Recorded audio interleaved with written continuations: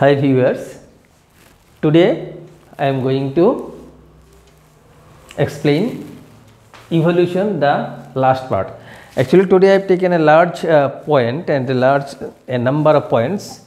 Although it may not be finished in the single video then I will tell later on portion in the next video I will explain.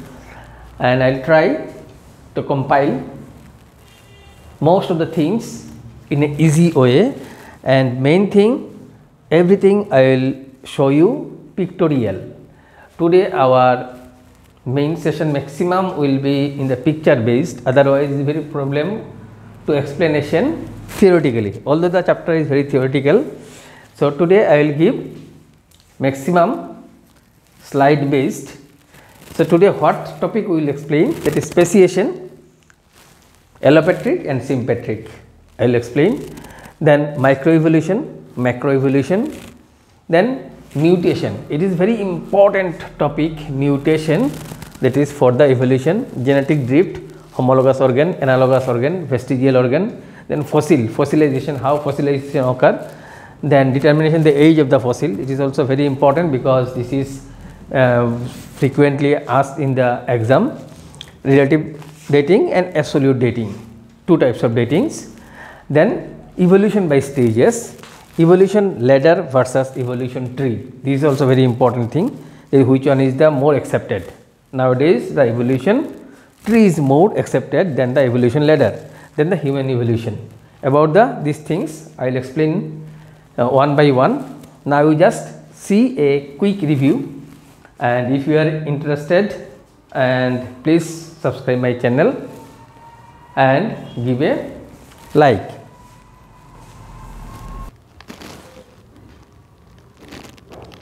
Now you see allopatric sympatric, speciation, microevolution, macroevolution, reproductive isolation, behavioral isolation,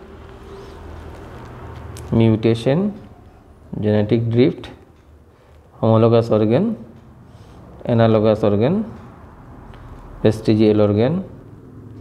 This is also a example of vestigial organ these are the fossils. This is the trilobites dinosaurs Rajasaurus fossil history of horse. This is another slide of horse Archaeopteryx fossilization. Formation of fossil. Absolute dating. This is the example of absolute dating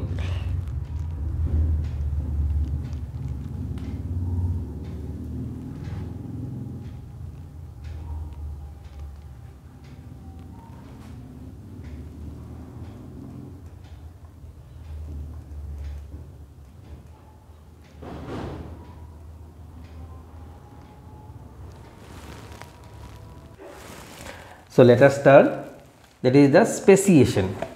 It is the formation of new species from an existing one due to reproductive isolation of a section of its population. That is reproductive isolation. That is two male and female are totally different therefore, they cannot interbreed among each other. So, this is called speciation. Earlier they were from the same race or from the same family, but now due to different sections their reproduction reproductive ability has lost. That is their morphologically they have changed. So, speciation is of two types. Allopatric speciation. You just see allopatric speciation. It is the formation of new species from populations occurring in different and mutually exclusive areas of distribution. You just see the first one is original species. This one is the original species here you see this is original. These original species ultimately separated into two halves that is they are geographically barrier that means one is one area another has gone in another area one has gone in one district, another in another district. Then what happens? Due to their geographical changes, that is here may be more rainfall, here may be the less rainfall. Then ultimately their food habit, their amount of foods that means the fodders, what things they are getting, they are different. So, they have morphologically different and ultimately reproductive isolation. Now, you see that two different species are formed. This is called allopatric. Allopatric due to that geographical barrier, they have changed their total morphology and ultimately we are getting two different 1 and 2. These are the two different morphologically dissimilar organisms we can see. Next is the sympatric speciation. The sympatric speciation is development of new species from a segment of population in the same area due to some intrinsic factors like mutations. Here you see some mutation, mutation I will explain later on. Mutation means the changing of chromosomal sequence. This is the original population. This original population, some species or some particular individuals, they have changed due to mutation and ultimately two different species are formed. They are also, they cannot interbreed each other. So, their changes their morphology. Morphology means that is their structural differences are formed. Next you see this is called microevolution. So, microevolution it is the formation of new variants due to gene mutation and gene recombination. For example, pesticide resistant, high temperature resistant. Here you see from here only one resistant variety. This is here only one resistant variety. This is for example here pesticides that have given all has died only except one. This is survived and this is survived and ultimately this one will form a particular group which is totally that that particular pest or that particular pesticide resistant. So, this is called the micro evolution. Then about the macro evolution, it is the development of different genera and higher taxa. So, this is called the macro evolution step by step they are growing to higher and higher organisms. Next step is the reproductive isolation. Due to speciation, the gene pool of a section of population separate from the rest and inability to interbreed of the two populations. Two and due to the difference in the morphology of the reproductive organs, behavior, mating time and physiological incompatibility, it is ultimately called the reproductive isolation. Now, here you see this is horse and donkey ultimately we are getting the mule so, mule is reproductive isolated and mule that therefore it is sterile. Mule cannot produce new mule. So, this is called the reproductive isolation. Here you see the example of behavioral isolation. Behavioral isolation earlier these two birds were present in the same area due to going in different areas their music, their sound, their voice totally changed and this is called the behavioral isolation. Since it is behavioral isolation, its behavior and its behavior it is changed. Therefore, their language that is their sound, which sound they are producing, this has been changed. So, now you see this is the most important as I have told mutation Mutation is called the genetic isolation. Mutation means changes of chromosomal sequence. This is the DNA and this is the replication of DNA from one DNA two DNA is formed. Now here you see here some particular strip or particular gene sequence they have changed and since they have changed then ultimately they have formed into a mutant variety. Mutant means changing of the chromosomal sequence. Here you see it is original and this is original and this is the mutant and since mutant and changes so their characters also changes. So, try to remember mutation means changing of chromosomal sequence and since chromosomal sequence changes then their characters also change. This is the genetic isolation or it is the molecular it is coming under the molecular biology or gene level. So, next you see very interesting thing is the genetic drift. Actually genetic drift it is occur due to accidental phenomenon. Here you see blue and red beetles are there. They blue and red they were in the earlier in the 5 is to 5 ratio. And due to insecticides or due to some accident what happens some by the net some blue insects or blue beetles they has been captured and they have been killed. Then what happens? Here 5 is to 5 ratio is there, later on 5 is to 1 ratio, but both of them has the same survival capacity by, but by accidental out of 5 you see 4 has been catched. So, out of 5 4 has been dead then ultimately when they will reproduce only one left. So, here from 1 2 is coming and from here 8 10 is coming. So, then ratio is 10 is to 2. So, red beetles are dominated. So, this is called genetic drift. Genetic drift it is a change in alleles frequency due to a chance of event or some accidental occurring. Next you see this is very important and always ask question in the exam homologous organ. All of these organs are the forelimb, forelimb of man, forelimb of dog, forelimb of bird and forelimb of whale. So, our hand and the forelimb of dog, then the wings of bird and pedals of whale all are morphologically similar but their function is totally different. So, when morphological similar or the origin is same, their origin is same but the function is different, then they are called the homologous organ.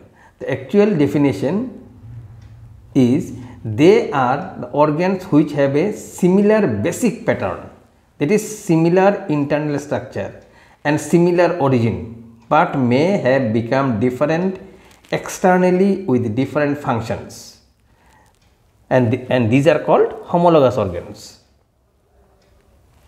Next we see analogous organ. Analogous organ their function is same but their origin is different. This is the wings of bird, wings of bat and wings of butterfly. You see butterfly wings are originated from the skin and wings of bat and wings of bird they are the modification of their limbs that is forelimb or hind limb. Next you see vestigial organ. Vestigial organ that is some organs now we have no function.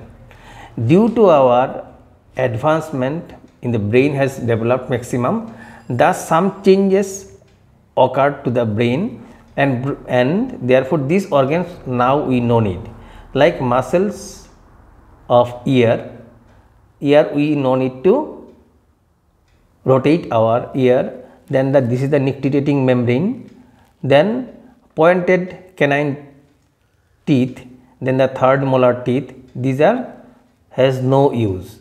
Some, eh, eh, some then this is a very important organ that is the appendix, vermiform appendix.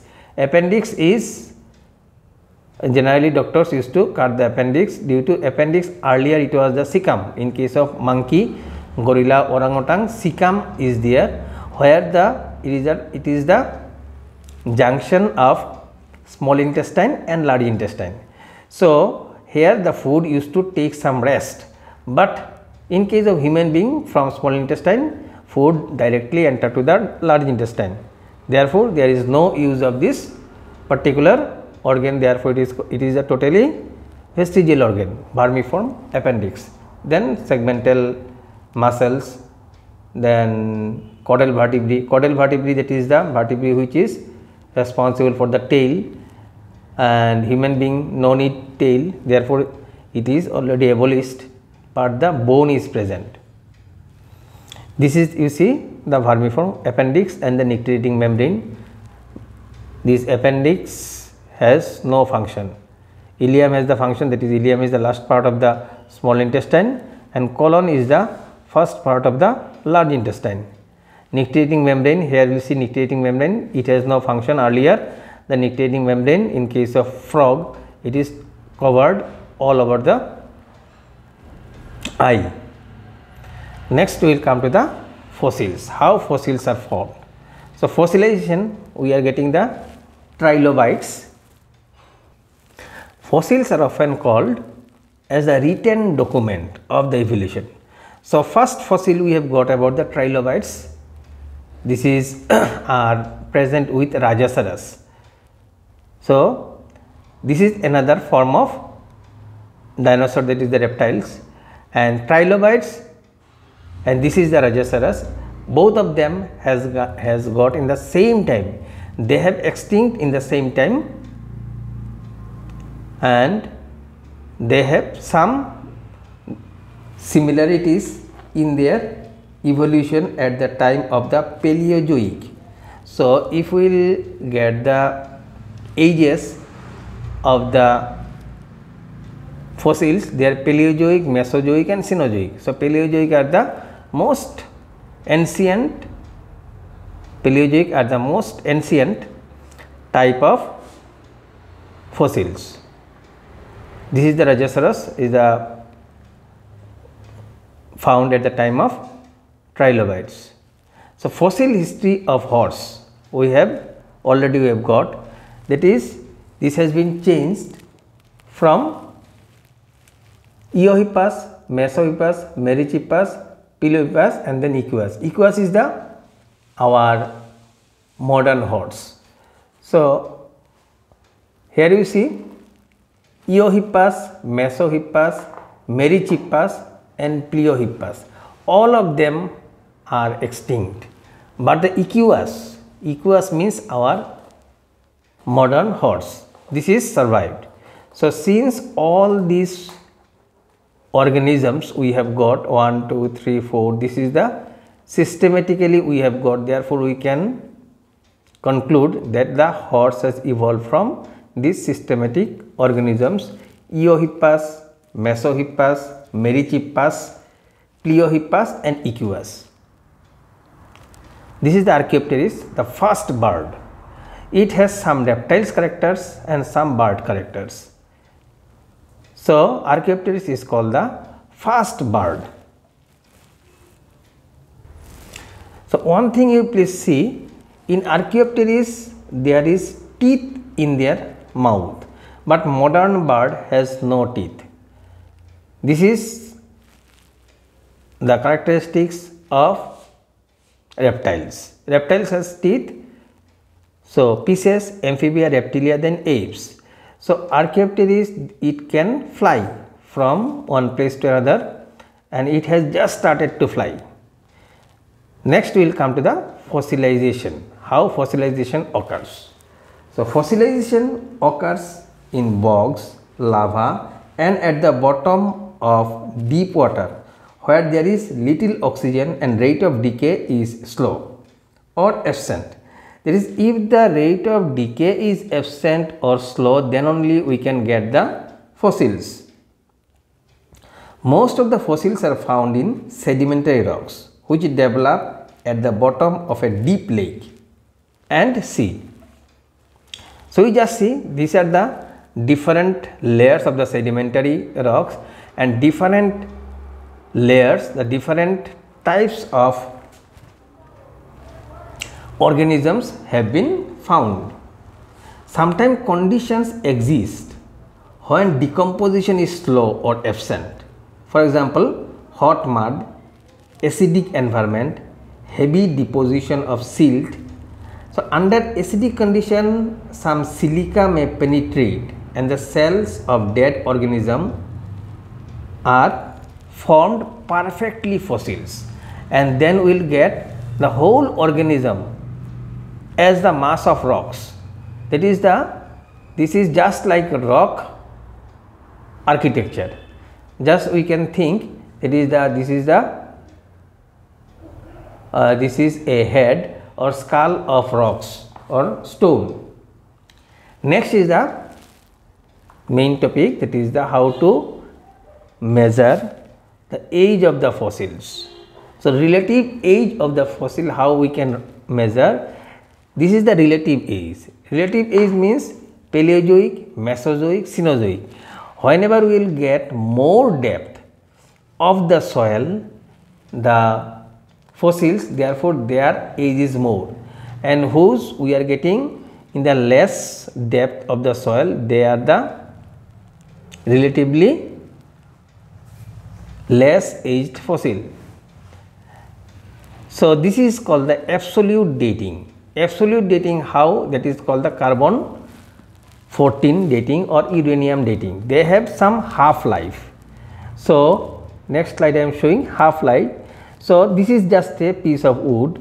So whenever age is 0 then 100 percent c14 is there. About 5730 years that is approximately 6000 years is carbon 14 c14 carbon 14 will be 50 percent if an fossil possesses 50 percent of carbon 14 that means its age is approximately 6000 years. If 25 percent its age is approximately 11000 years or 11500 years. If its carbon content is 12.5 percent its age is about 18000 years or 17190 years. So, this is called the absolute dating by uranium also we can measure but it is used for fossils of higher and higher old that is who are millions and millions years of age. Next evolution of eye, how eye is evolved.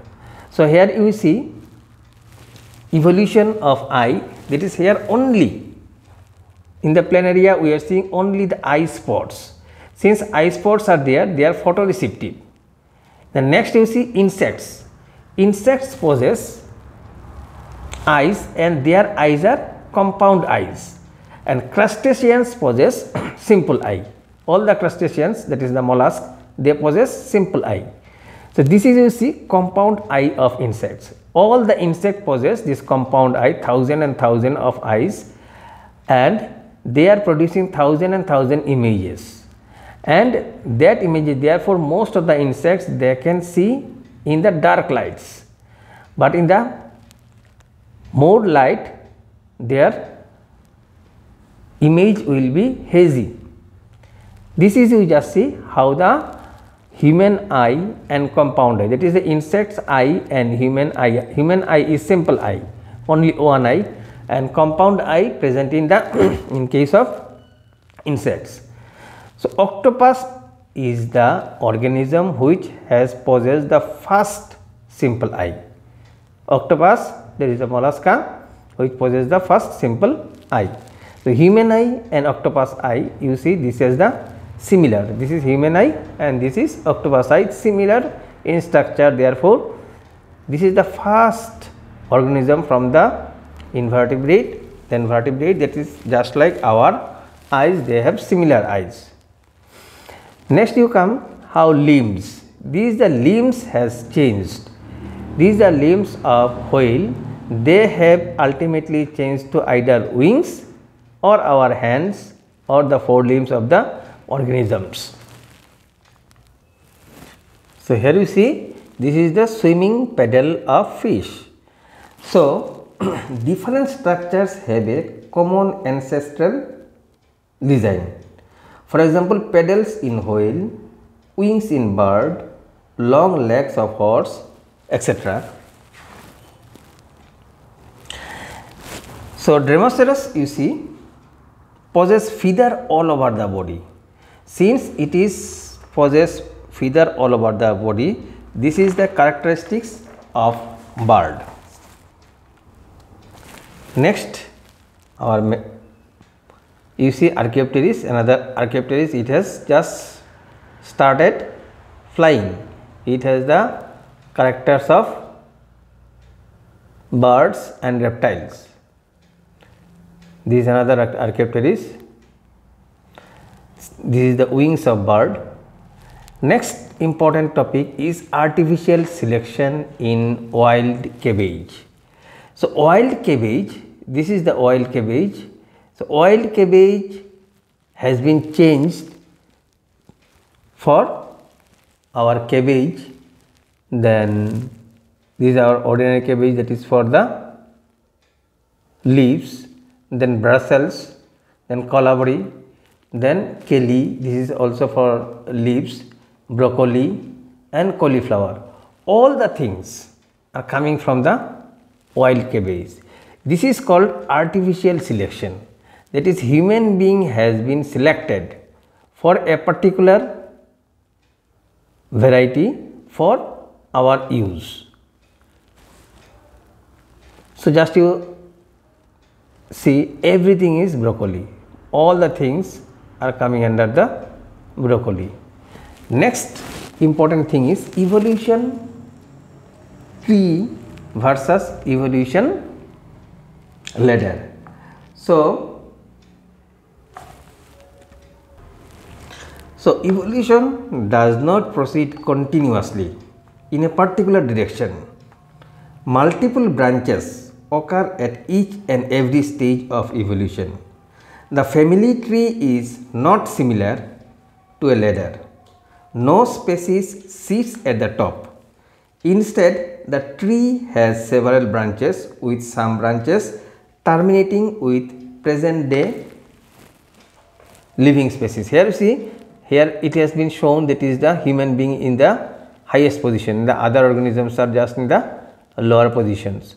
But actually this is wrong human being is coming simultaneously from a particular ancestral stock some is coming as a human being, some is chimpanzee, some is that, that means some is coming from coming as a gorilla orangutan there that is chimpanzee is not the ancestor of human being. So, you will mm, study later on about this tree that is this is the particular position from where different different organisms are evolved. Next come to the human evolution. You just see the particular map. All human beings have their origin at Africa. Then what happens? They are migrated from West Asia, Central Asia, Eurasia, South Asia, East Asia, then they populated the islands of Indonesia and Philippines and from there to Australia. Some crossed the Bering Land and reached to Africa. So, several times the different groups you just see from this is the stages of Africa and from Africa all they are coming in different different direction and ultimately they have evolved. So, all the are coming from the Africa and ultimately different different zones in India also come this is the position of India and then from India they are migrated to different position of the earth and settled there. So, now probably you are clear about the what we have studied today speciation allopatric sympatric speciation then microevolution macroevolution mutation genetic drift homologous organ analogous organ vestigial organ fossil fossilization how occurred by the sedimentation probably you have uh, understood nicely whatever I have explained determination of the age of the fossil that is the relative dating and absolute dating. Then evolution by stages, what are the different stages by which evolution occurs, evolution ladder versus evolution tree. Then at last we have studied about the human evolution. So today up to this you if any kind of problem or any kind of confusion then you please write to me. And all the text I will give in my text section. You refer to the text then all the text uh, messages and text things you will get. And stay blessed for today up to this